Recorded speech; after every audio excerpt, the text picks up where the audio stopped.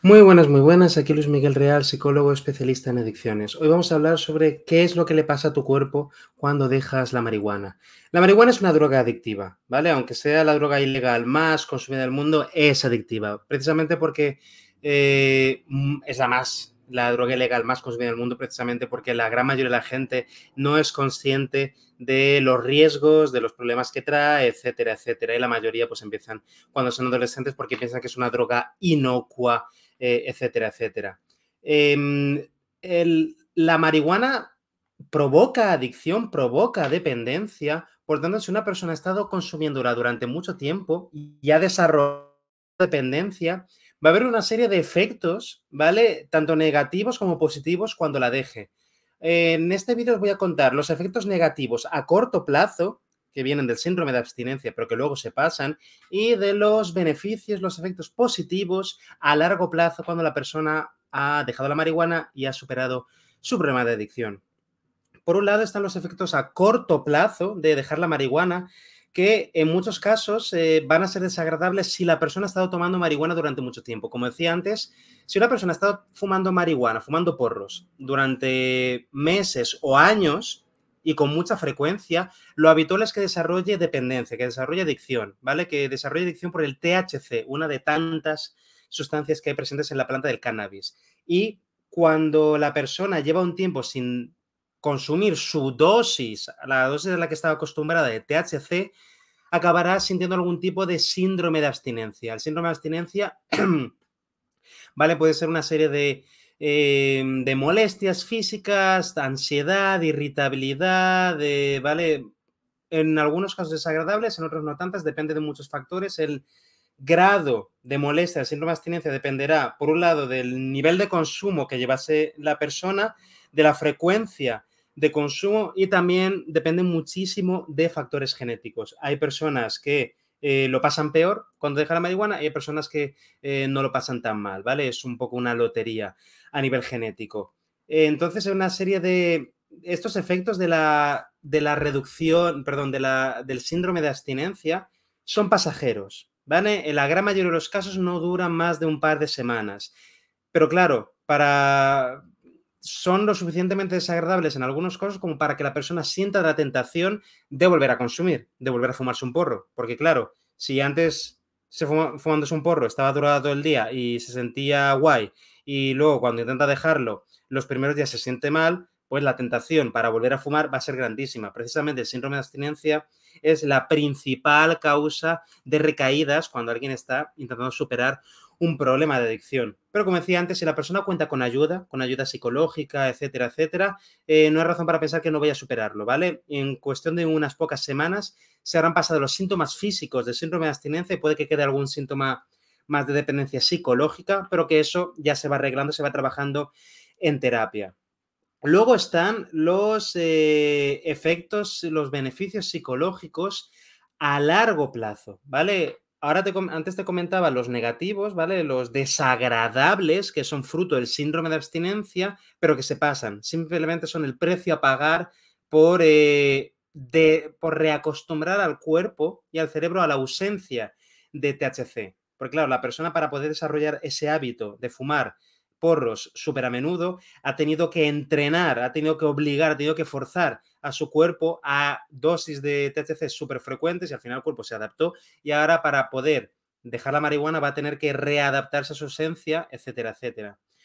Para la parte de los beneficios psicológicos a largo plazo, dejar la marihuana, ¿vale? Voy a daros siete. Por un lado, mayor capacidad de concentración mayor memoria, ¿vale? La concentración y la memoria son de las cosas que, antes eh, se empiezan a ver perjudicadas cuando alguien empieza a fumar marihuana con mucha frecuencia. Luego, mejor autoestima y opinión sobre uno mismo. Muchísimas de las personas, la gran mayoría de personas con las que he trabajado que, eh, que han desarrollado adicción por la marihuana, tienen autoestima destrozada, no creían en sí mismos y en el momento en que consiguieron mantener la abstinencia durante un tiempo, empezaron a sentirse muchísimo mejor consigo mismos, pero muchísimo mejor. Otra de las cosas que mejorará al dejar la marihuana es el sueño, ¿vale? Uno de los efectos menos conocidos de la marihuana es que te destroza, te destroza los mecanismos, cerebrales, los mecanismos cerebrales del sueño. Eh, las personas que fuman marihuana con frecuencia son, se vuelven incapaces, incapaces de pasar por la fase REM, ¿vale? Que es tan importante para tener una buena noche de descanso, para poder reparar tejidos, eh, procesar la información, etcétera, etcétera. Para que una persona se sienta bien, se sienta descansada y energética cada día, necesita haber dormido bien la noche anterior. Y fumar marihuana con frecuencia te jode, te destroza el sueño. Entonces, uno de los beneficios más inmediatos después de una, que una persona lleva unas cuantas semanas sin fumar marihuana es que su calidad de sueño mejorará muchísimo, dormirá de manera mucho más profunda y por supuesto está la parte de acostumbrarse a eh, dormir sin necesidad de fumarse un porro. Es otro de los grandes miedos que tienen muchas personas que han desarrollado adicción por la marihuana, se han acostumbrado a fumar antes de dormir porque eso les hace dormir, eh, caer dormidos enseguida pero de manera mucho más superficial, de, con mucha menos calidad de sueño, con mucho peor descanso. Y claro, luego cuando dejan de fumar, les da miedo no ser capaces de dormir. Esa es otra cosa importante que se tiene que trabajar eh, con el psicólogo, los hábitos de sueño de la persona, recuperar esos buenos hábitos de sueño de la persona. Llevamos cuatro beneficios. Mejor capacidad de concentración, mejor memoria, mejor autoestima y dormir mucho, mucho mejor. El siguiente beneficio efecto a largo plazo de dejar la marihuana es una mayor tranquilidad en el día a día. Fumar marihuana con frecuencia no calma la ansiedad, empeora la ansiedad y la irritabilidad. Por tanto, cuando una persona deja la marihuana después de un tiempo, empieza a sentirse bien de manera natural en el día a día. El sexto, volver a disfrutar plenamente de las cosas, de las actividades, de las conversaciones. Lo que ocurre con el consumo de cualquier sustancia eh, adictiva, o bueno, de cualquier adicción, es que esa actividad o ese consumo empiezan a eclipsar el resto de actividades del día a día, ¿vale? Habréis oído hablar sobre los disparos de dopamina y de otros neurotransmisores, no solamente la dopamina, pero son muchos más. Pero a nivel químico, cuando empezamos a abusar de una sustancia, nuestro cerebro se acostumbra a solamente darnos, hacernos sentir placer eh, o satisfacción cuando estamos consumiendo esa sustancia o haciendo esa, esa actividad. Y para el resto de actividades del día a día ya no nos queda dopamina, no nos quedan, digamos, otros neurotransmisores, eh, se quedan regulados a la baja y nos cuesta mucho más disfrutar de las cosas. Por eso las personas que desarrollan eh, adicción, que consumen marihuana con frecuencia, sienten apatía en el día a día, porque a nivel químico les está costando muchísimo levantar el ánimo, le está costando muchísimo disfrutar de las cosas. Por tanto, cuando una persona deja la marihuana, igual que el alcohol, igual que otras sustancias, eh, recupera la capacidad de disfrutar de las pequeñas y grandes cosas del día a día.